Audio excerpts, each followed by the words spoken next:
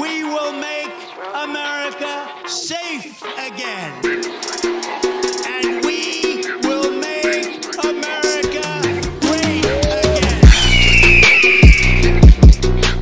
Hello Homo sapiens and welcome back to a new video. Today we're going to ask the big question, can Trump win the 2024 election? But we're also going to look at the 10 most important political events from the past few weeks. I used to do a series similar to this back in December, but I want to redo it, so welcome to the new version of Ketchup 10.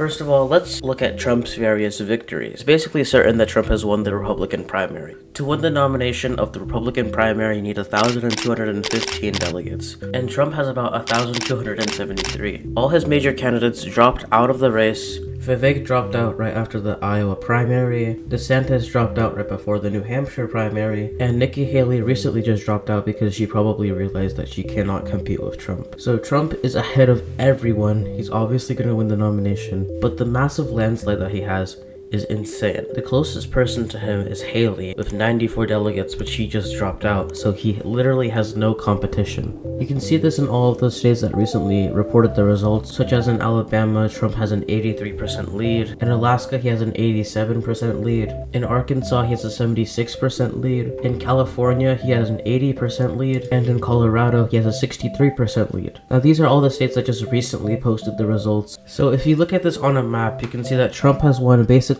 every state besides Vermont, and he lost the District of Columbia. In Vermont, it was kind of a close tie, but Nikki Haley got a 5% lead, and in Washington, D.C., she got a 62% lead compared to Trump's 33%. Now, obviously, Nikki Haley and everyone else dropped out, so it's basically 100% a Trump victory.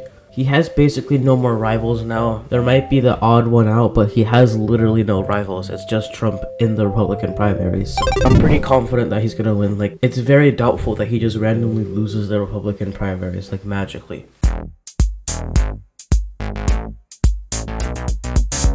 Another thing that's going to allow Trump to win is that states can no longer ban him from the ballot. In a 9 to 0 ruling, the Supreme Court decided that states can no longer ban Trump from the ballot. Previously done by Maine, Colorado, and Illinois, this is the only power Congress should have. Meaning that Trump is officially on the ballot in every state, no state can ban him off the ballot. This is another positive for him because it means his campaign cannot be disrupted by any state or liberal government that goes against his politics. Here's another story that we should talk about because it was very recent. On the 22nd of February, Laken Riley died in Athens, Georgia to an illegal Venezuelan immigrant. She was only 22 at the time. Now, Biden briefly mentioned her name in the State of the Union, however, he mispronounced her name and he called her Lincoln Riley. It's not about him. It's not about me. I'd be a winner. Not really. Hmm. I.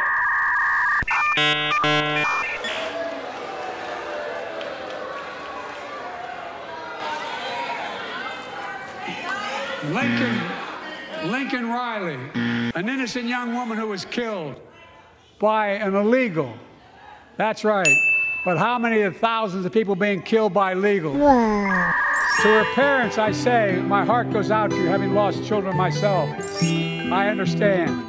Her death is basically his fault because Biden's policies are allowing for illegal migrants to enter the country and he's not even taking responsibility for it. He won't even say her name properly. So this all resulted in the Laken Riley Act being passed in the House. In a 251 to 170 vote, all illegal migrants who come in to commit crimes get detained, hopefully stopping this atrocity from happening again.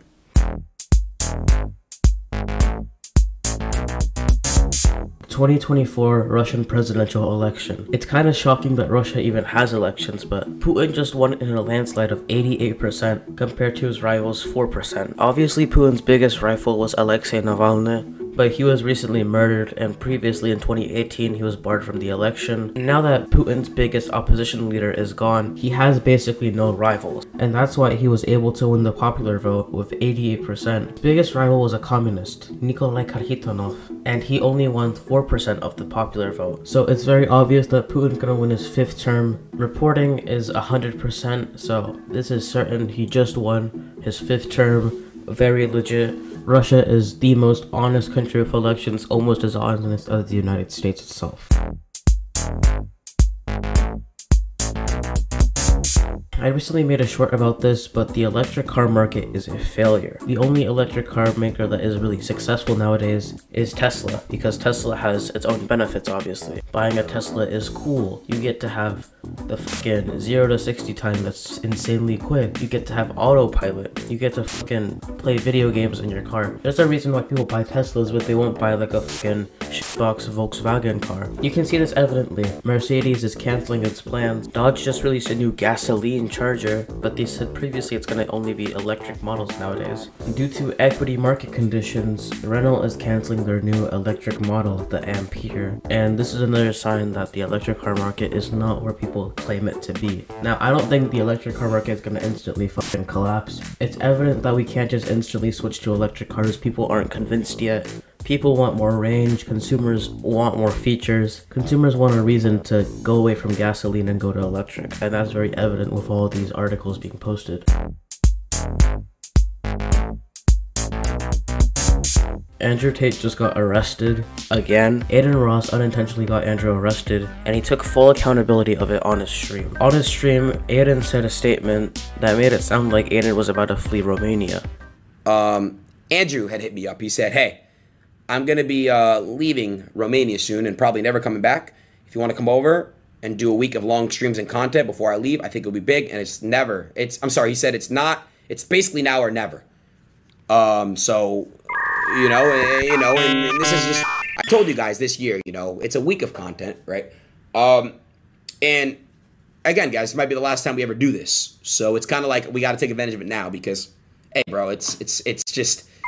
It's basically like yeah, it's like that and the authorities quickly heard that and obviously put a stop to it because Adin and Tate are really close. So basically, whatever Adin says is probably the truth. So they, you know, they believed it. Tate calls it a matrix attack. That's kind of his usual shtick. I don't even know what to say about it. Let me be real with you. On Monday, both Andrew and Tristan Tate were arrested by Romanian authorities because of charges that originated in the United Kingdom and on the plan that they were going to flee Romania. We don't know what's going to happen next, but that's as far as we know.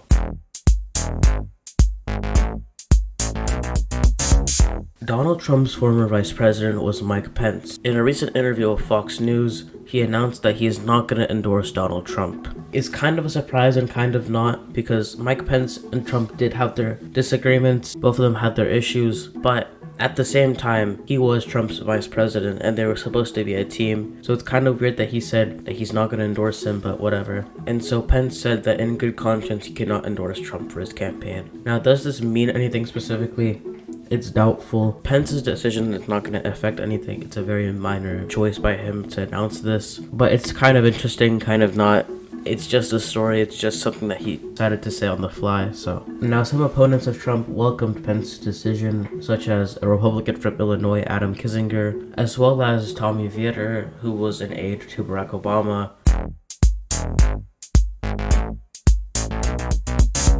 The TikTok ban. Now, this is probably the biggest and most important story of the month. The House passed a bill that would give ByteDance 165 days to sell TikTok to an American company. The TikTok ban situation has been going on for a while. Back in 2020, Trump tried to ban it during his presidency, but that didn't work out. And now, during the Biden presidency, the House was able to agree. The Senate is probably gonna agree. And so, if Biden gets the bill, he said that he'd sign it into law. And ByteDance is now being given, you know, a few months to decide on what they'll do with TikTok they have to sell it or they have to like split it up into parts and you know give it to companies they basically just need to stop owning it ByteDance is a Chinese corporation meaning that all their data has to go to the CCP that is a threat to national security about 34 states have banned TikTok in government agencies or contractors. So government issued devices cannot use TikTok in 34 states. Most of these states are Republican run. However there's about like five that are Democrat run and then some that had a bipartisan decision. There's also various universities and schools that also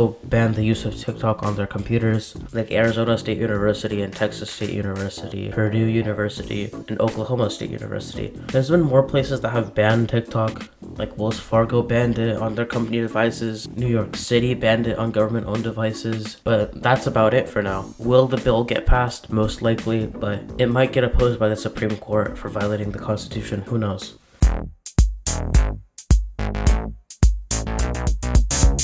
Sweden has officially joined NATO. They became the 32nd member on the 7th of March. Their flag was soon raised in Brussels. So Sweden is now a member after previous opposition from Turkey and Hungary but both of those sides agreed, and so Sweden is now a member. Putin's invasion of Ukraine caused many countries to want to join NATO, such as Finland recently joined, and now Sweden joined. What this means for Russia is that the Baltic Sea is completely controlled by NATO forces, meaning that if Russia wanted to deploy ships in a theoretical sense, they can have them all blocked in the Western Front. So this is a major L on Putin. You know, I'm emoting on him right now.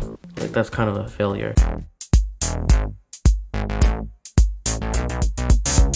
So lastly, I'm going to ask the big question. Can Trump win the election? So according to the polls, yes. So if you look at all the recent polls for 2024, Trump has a major lead in most of the states. According to a recent poll on March 15th, he has a 2% lead. So, in Florida, he has a lead Ohio, Michigan, Nevada, Arizona, Georgia, basically every state. The only two states he doesn't have a lead in is Minnesota, which is a 4% Biden lead, and then California, which is a 24% Biden lead. New York is 12% for Biden, Washington is 16% for Biden, Maryland is 22% for Biden, Colorado is 7% for Biden, Massachusetts is 20% for Biden, Virginia is 6% for Biden, Illinois is 9% for Biden, and New Mexico is 8% for Biden. But besides that, most states are for Trump. The state that is the highest for Trump would be Wyoming with 53%. The state that's highest for Biden is obviously California. What else would you be expecting? But these are the latest polls according to 270 to win.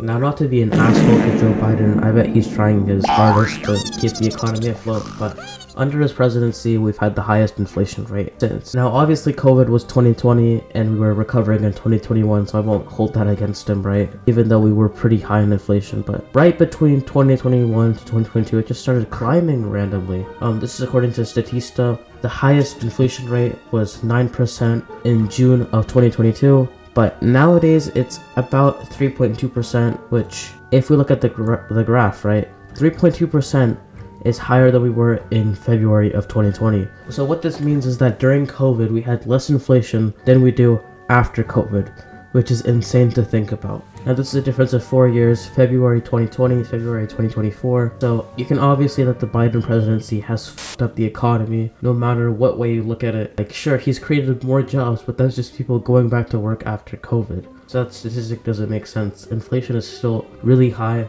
And the last reason why people probably won't vote for Biden is just because of how stupid he is. He can't even complete full sentences. America is a nation that can be defined in a single word. I was in foot, him, uh, foot, excuse me, foothills of the Himalayas with Xi Jinping, traveling with him. I guess we traveled 17,000 miles when I was vice president. I don't know that for a fact. He mispronounced Lincoln Riley's name. Lincoln, Lincoln Riley. Like, who the f is gonna vote for this guy? I don't know. But that's all for today's video. Thank you for watching, guys. Those are the 10 most important news stories from the week. And I hope you enjoyed. If you like this video, then subscribe, like, and um, I'll see you guys next time. Thank you for watching, guys.